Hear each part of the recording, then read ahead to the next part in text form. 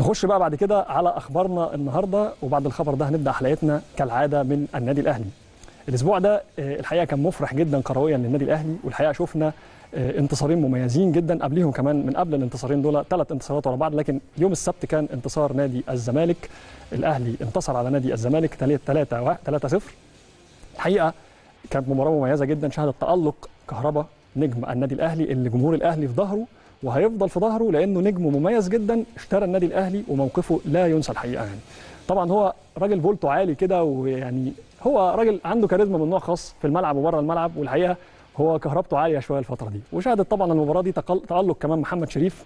محمد شريف نجم اكتسب الثقة مرة أخرى عاد أحرز هدفين في لقاء الزمالك. ده هدف كهربا أهو طبعا. الولد فولته عالي الحقيقة يعني. المهم اللقاء كان متالقين نجوم النادي الأهلي فيه بشكل مميز جدا. زي ما قلت لحضراتكم محمد شريف أحرز كمان هدفين.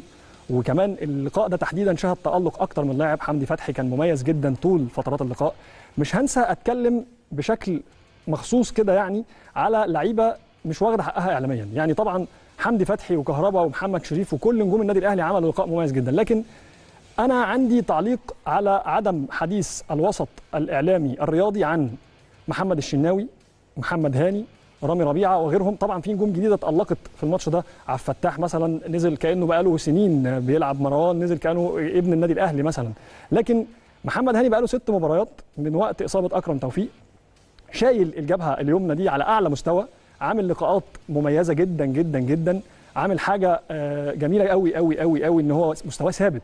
مستواه ثابت وبيزيد وبيستفاد من كولر على قد ما يقدر. نفس الكلام لرامي ربيعة انت كان عندك المنطقة الدفاعية ورا دي مكان السردباكين فيهم إصابات وبيحصل فيهم ضربات كتير وبتاع الراجل ما شاء الله عليه ثابت ست ماتشات أو أكتر كمان. أه حاجة مميزة قوي إن هو يعني رغم إن الناس ما بتتكلمش عليه وما فيش حديث غير عن طبعا النجوم المميزة اللي رجعت والهدافين اللي قدام وبتاع لكن الناحية دي محتاجين ندعمهم. الناس دي رامي ربيعة في كأس العالم اللي فات عامل كأس عالم ولا أحسن ومستنيين منه في كأس العالم ده. محمد هاني ما ننساش كلنا ماتش بايرن ميونخ مثلا. الشناوي الناس بتستنى له يغلط.